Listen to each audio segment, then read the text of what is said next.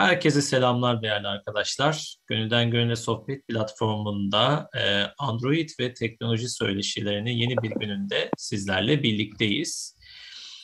E, bugünkü konumuz e, ilk etapta yine Android üzerine olacak. İkinci etapta da biraz beyaz eşyaların erişilebilirliği üzerine konuşacağız. Özellikle işte çamaşır makinesi, bulaşık makinesi falan yani bunlarda durum nedir ne değildir e, hangi uygulamayla e, kontrol edilebilir? Biraz bunlardan size bilgi vermeye çalışacağım. Tabii bir model ismi veremem ama en azından hangi e, sistemle uyumlu olabileceğini gidip mağazaya sorgulayabileceğiniz ipuçları vereceğim size. Ama tabii öncelikle Android kısmında e, şöyle bir telefonumun da sesi size ulaşıyor mu? Onu şu an duyuyor musunuz telefonu?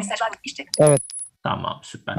Duyuyoruz. Süper. Şimdi bugün Android cephesinde e, sizlerle telefonumuzun erişilebilirlik ayarlarına göz atmayı göstereceğim. Yani işte yüklü ekran okuyucu gibi servislere nereden erişim sağlayabiliriz? E, bunları nereye girip e, ayarlarına bakabiliriz? Biraz onlardan bahsedeceğim. Tabii bu arada da telefonun ayarlarına da göz atıyor olacağız. Şimdi öncelikle Android cephesinde arkadaşlar telefonun ayarlarının değişiklik gösterebileceğini söylemekle başlamak lazım. Öyle ki e, Samsung, Xiaomi, Oppo ya da e, çeşitli markaların telefonlarının ayarlarının dizilimi biraz farklı olabilir. Ama kullanılan isimler aşağı yukarı genelde e, hani benzer oluyor. Peki ne gibi isimlerle karşımıza çıkabilir? Mesela bizim ilk tabii ki bakacağımız ayarlar erişilebilirlik ayarlarıysa.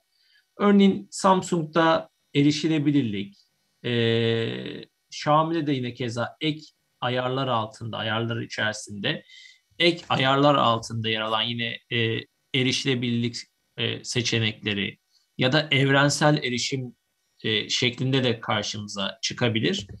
E, bu şekilde e, öncelikle erişebilirlik menümüze gidebiliyoruz. Şimdi ben de size Samsung telefon üzerinde göstereceğim ama tabii ki Xiaomi'de de ek ayarlar altında e, yer alacaktır erişebilirlik seçenekleri.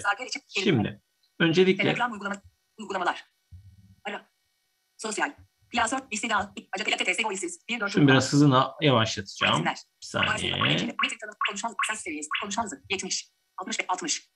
Metin tanıma ve çek pencere. Varsayılan. Evet. Sosyal. Klasör, istida, acakela TTS, Adblock Force, APK, Apsifik, istida, akıva mail, akıva mail, aralanı, 3 ayarlar, 4 ayarlar. Ayarlara geldiğimizde e, hemen üst tarafta, sol üst Ayarlar. tarafta Ara düğme. ara düğmemiz yer alıyor.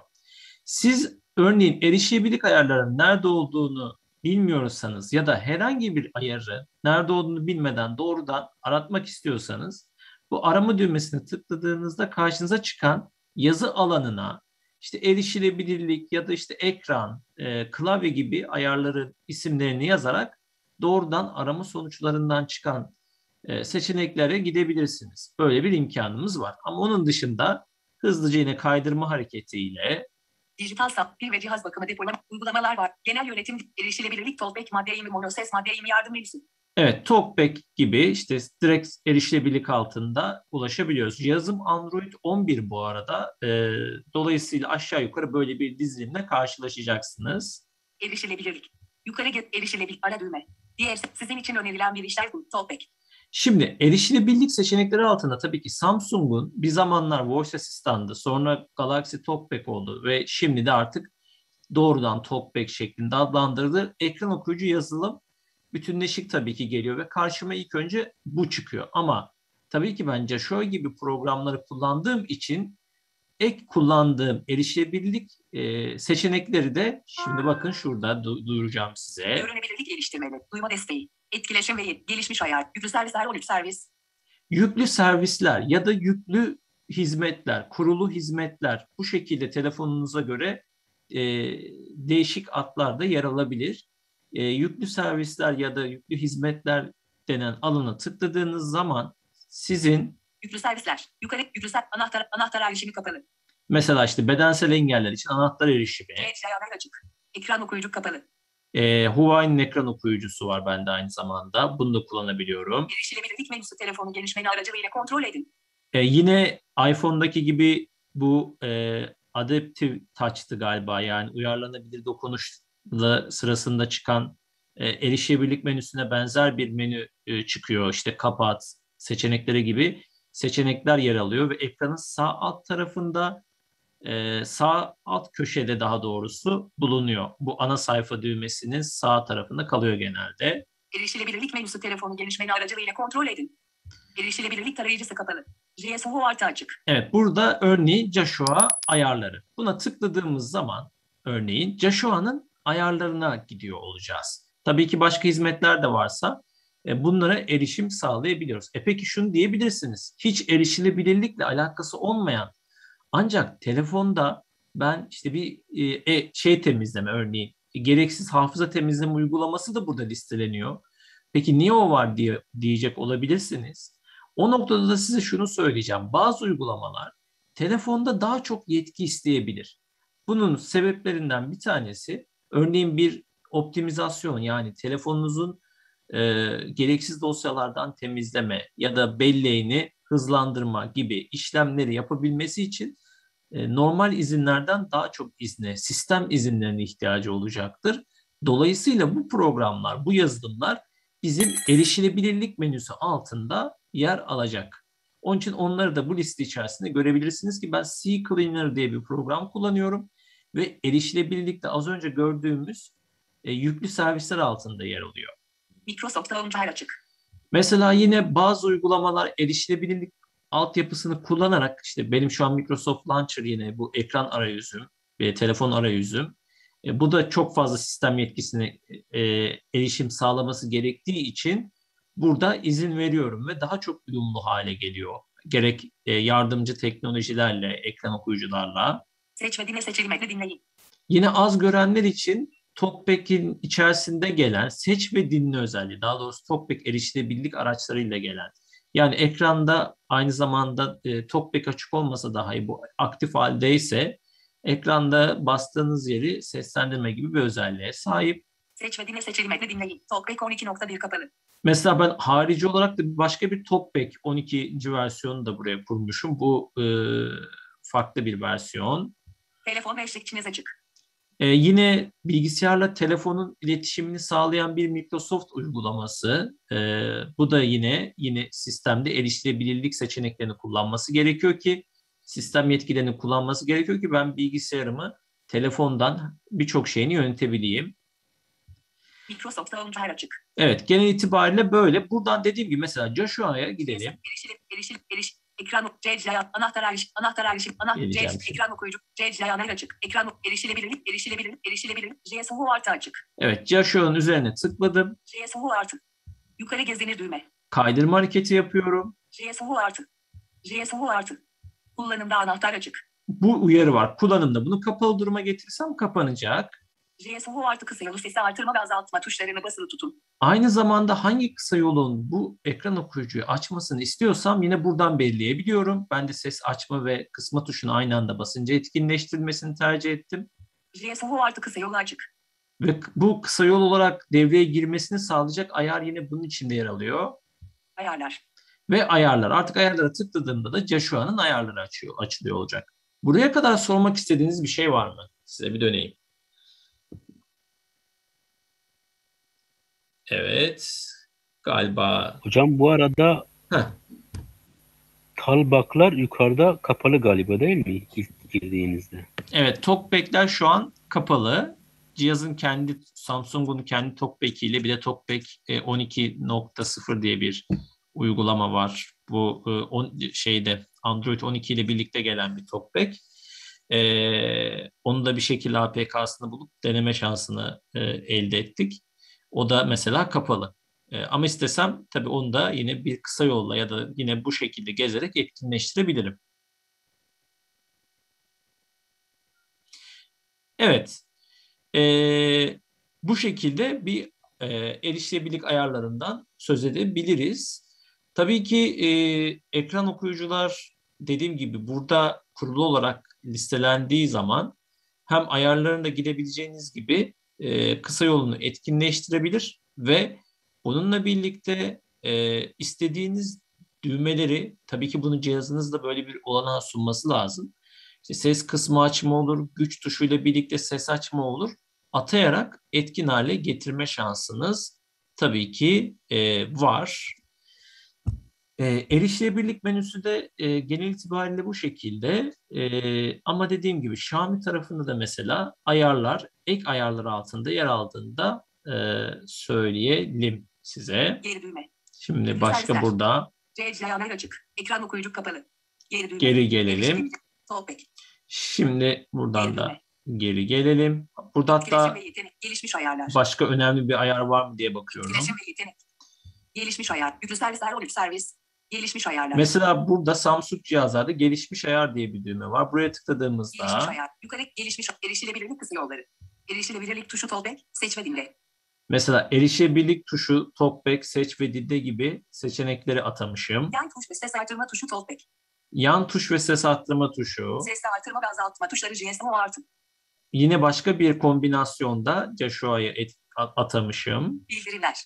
Işıklı bildirim. Harekete geçme zamanı varsayılan. İşte ışıklı bildirim gibi yine az görenler için. Klavye girişini sesle oku sadece Samsung klavye ile çalışır. Geçersiz. İşte klavye girişlerini sesli oku gibi bir seçeneğim var. Klavye girişini sesle oku kapalı geçersiz. Erişilebilirlik için Bix Division. Ses etiketi yakında olduğunuzda size bilgi vermesi için NFC etiketleri ve ses kayıtları yazın. Etiketler ayrıca satın alınır ve sık sık kullandığınız nesneler ya da konumlarla arasında bağlantı kurulabilir. Evet bu da mesela Samsung telefonlarda birlikte gelen NFC dediğimiz yakın iletişim teknolojisini kullanan e, küçük böyle etiketler var. Bu etiketleri e, getirdiğiniz zaman ve bir Samsung telefonunuz ya da NFC destekli bir telefonunuz varsa doğrudan o etiketin içerisine bilgi tanımlayıp daha sonra o etiketi telefona dokundurduğunuz zaman e, nesnelerin erişilebilirliğini kendiniz sağlayabiliyorsunuz arkadaşlar. Bu da birçok telefonda NFC destekli olan bir özellik. Evet, e, buraya kadar sormak istediğiniz bir şey var mı? Android tarafında erişilebilirlik seçeneklerine erişimi anlattım size. Var, Hı hı. var, var hocam. Buyurun. Ee, hocam ben iPhone kullanıcısıyım. Ee, komutlar diye bir özellik var bizim iPhone'larda. Örneğin e, ana ekrana üç parmakla herhangi bir yere dokunduğun zaman e, VoiceOver'ı kapatabiliyorsun veya herhangi başka bir e, adım atabiliyorsun, komut atayabiliyorsun. Acaba Android'de bu da mümkün mü? Tabii ki. Mesela şöyle, TalkBack'te bir saniye.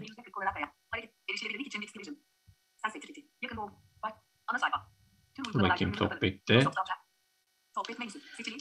Şöyle biraz sesini açayım. TalkBack'te de ses komutları diye bir şey var.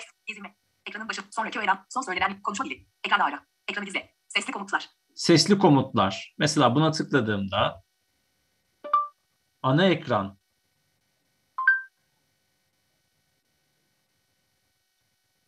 bakalım ne yaptı. İnternet. Telegram uygulamasında 456 bildirim var. Evet. 3. Yuvasında. Mesela şu an e, ana ekrana dönmüş oldu. Ama birçok tabii komut var. Mesela şöyle bir bakalım. Talkback menüsü. İzin. Ekranı. Sonra. Son söz. Konuşma dili. Ekranı ara. Ekranı izle. Sesli komutlar. Yardım. Sesli komut bölümüne kağıt olmuştu. Bir dakika internet bağlantımda Talkback biraz menü. sıkıntılı Konuşma olabiliyor. Sesli. Talkback ayarları. Sesli komutlar. Yardım. Sesli komutlara genel bakış. Yukarı git düğme. Mesela şu an yardımı açtı ve ben hangi komutları verebileceğimi Sesli komutlara genel Görebiliyorum. Sesli. Okuma. Geçerli ekrandaki içeriğin okuma Hocam şeklini değiştirin. sesli komut veriyorsunuz. Ee, Evet. Benim demek istediğim şey e, dokunarak yani komut verebiliyor muyuz? iPhone'da o özellik var. Şimdi dokunarak komut ver- vermekten kastınız tam olarak ifade ederseniz. Ee, Hı. şöyle hocam örneğin ana Hı. ekrana üç parmakla üç kere dokunduğumda ayarlamışım, komut atamışım. Beni erişilebilirlik ayarlarına atıyor. Ha anladım Veyahut- sizin dediğiniz. Tamam. Tamam evet. Veyahut Hı e, voiceover'ı kapatıyor. Bu, açıyor. bu zaten ekran okuyucudan olmazsa olmazı. Ekran okuyucularda da Android tarafında da böyle kullanıyoruz. Ayarlarda hareket özelleştirmeleri diye bir menü var. TalkBack'te de var, Joshua'da da var. Hatta Joshua'da daha farklı, daha fazla zenginlikte hareketler tanımlayabiliyorsunuz. İşlev de oluşturabiliyorsunuz. Örneğin işte e, iki parmakla tıklarken e, o, parmağı tıkladığımda hangi uygulama açılsın ya da hangi işlev yapılsın o var. Talkback'te de var bu arada ayarlar içerisinde. E, ekran okuyucu kapatıp da açtırabiliyoruz değil mi? O özellik de var. Ekran okuyucuyu kapatıp açtırmak aynen öyle. Telefonunuzun e, burada şöyle oluyor. Telefonunuzun düğmelerine basarak yapıyorsunuz bunu. Mesela ben işte e, ses açmayla güce basıyorum. kapalı. Kapanıyor. Bir, Talkback açık. bir daha basıyorum. Talkback açılıyor. Genelde Android tarafında bunu düğmelere atıyorlar. Böyle bir özellik var. Böylelikle kolay bir Anladım. şekilde devreye girip çıkabiliyor. Hı hı. Ee, evet arkadaşlar. Serkan Hocam ben Joshua ile ilgili soru sorabilir miyim? Tabii sorabilirsiniz. Bu arada Adem ben Kütahya'dan. Hı hı, hı hı. Şimdi ben de Samsung kullanıyorum da bu Joshua'daki yaşadığım tek sıkıntı şu. Klavyeden numara çevirirken ne yazık ki iki kere bassak da yazmıyor. Basılı tutmamız gerekiyor. E bu da hem dahili numara tuşlarken hem de diğer numaraları tuşlarken bazen dalgınlık yaptığı için yetişemiyoruz veyahut da işlemediği için sistem telefonu kapatıyor.